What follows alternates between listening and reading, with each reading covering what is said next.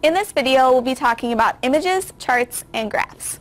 We'll talk about the different file formats and how to import them into your poster. We'll talk about image resolution and how to check to make sure that your images look okay before printing.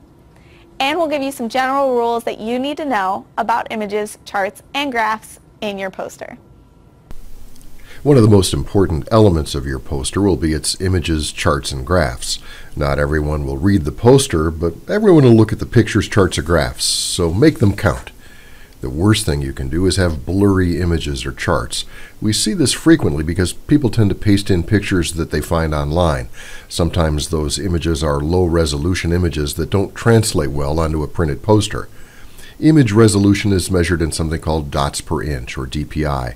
Many images online are DPI of 72, whereas a good DPI for a poster is closer to 300.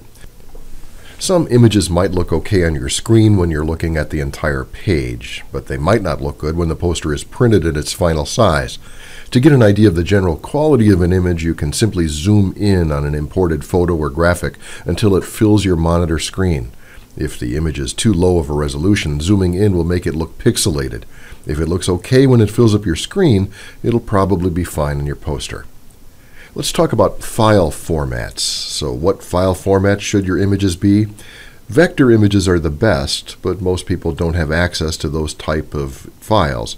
The next best things are JPEGs or PNG files.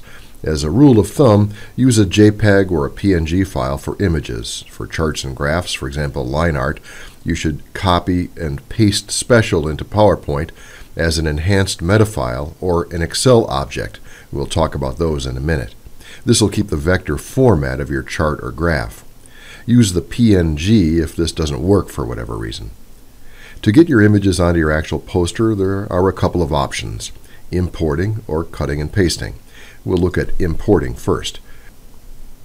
Place the cursor at the position in your document where you want to insert the picture, and on the Insert menu, point to the picture.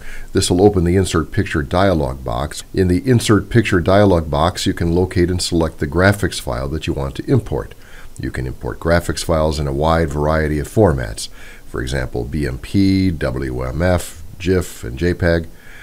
Then click the Insert button. Copying and pasting is even easier. If you have an image on another document that you'd like to use on your PowerPoint poster, you can use cut or copy and paste. To do a basic cut or copy and paste, simply follow these instructions. Select the graphics from the other program, and from that program's Home tab or Edit menu, click Copy, or Control C. Place your cursor at the approximate place on your poster where you want to insert the picture, then on the PowerPoint Home tab, click Paste, or type Control V.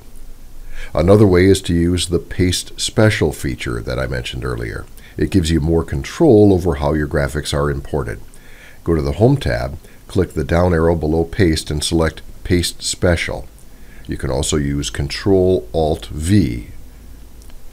Once you've done that, you'll have several options to use for pasting.